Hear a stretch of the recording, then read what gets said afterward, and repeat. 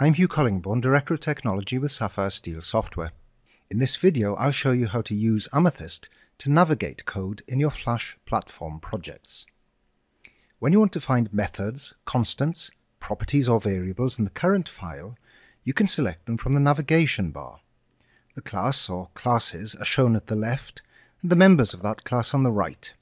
Click an item in the list to go to its declaration in the source code. If you want to navigate around the entire project or solution, use the class View. Here you can look into the packages of your project to see the classes they contain. You can expand the branches to show a class's ancestors. The members of the class are shown in the pane down below. Double-click them to navigate to the definitions in source code. Class view can be shown via the View menu. And you'll find another similar looking tool here called the Object Browser. The Object Browser is more like a comprehensive class view. It doesn't only show the current solution, it also lets you browse into libraries, for example into the classes of the Flex SDK.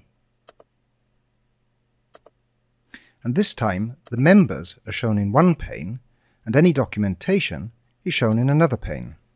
Now there may be times when you have a solution that contains multiple projects, in which some projects create libraries which are used by some other project.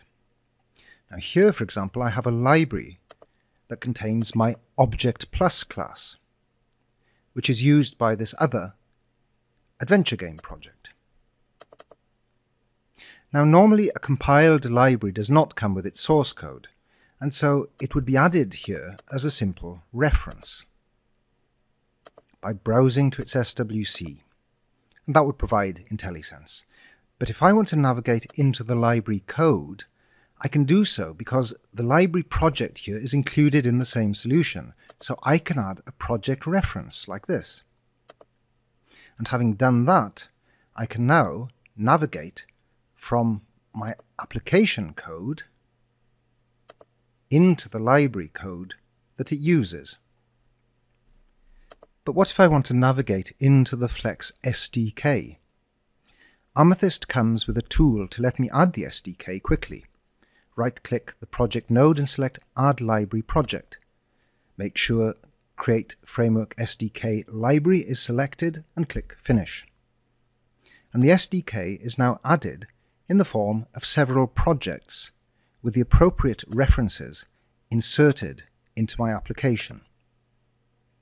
You can distinguish project references that refer to source code projects, that is, projects which are in the solution, from ordinary references by their color. Project references are shown in blue.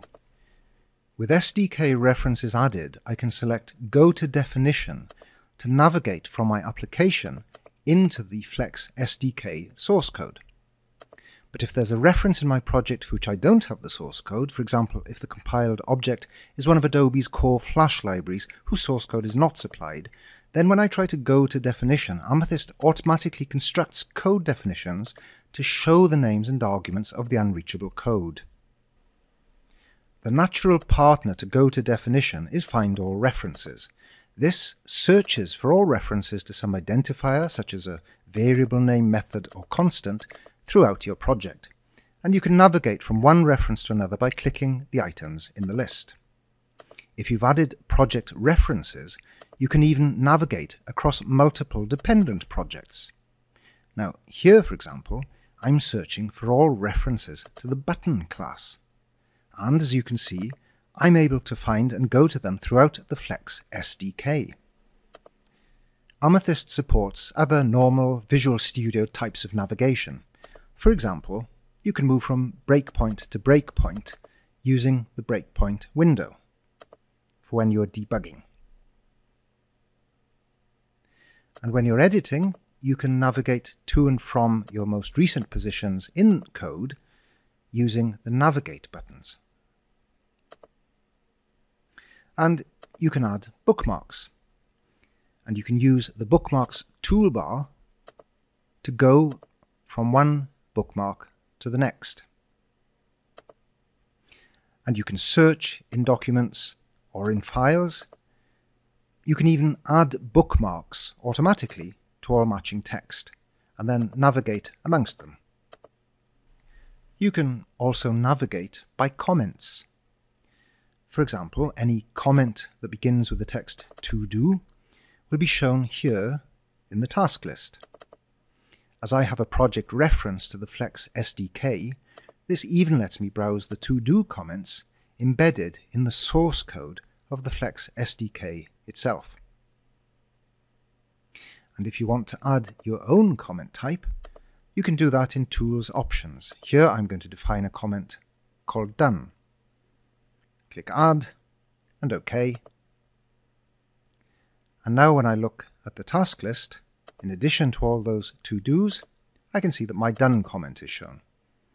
And note that by clicking column headers, I can sort the task list by description, file name, and so on. For more information on the Amethyst IDE, go to the SapphireSteel software website at www.sapphiresteel.com.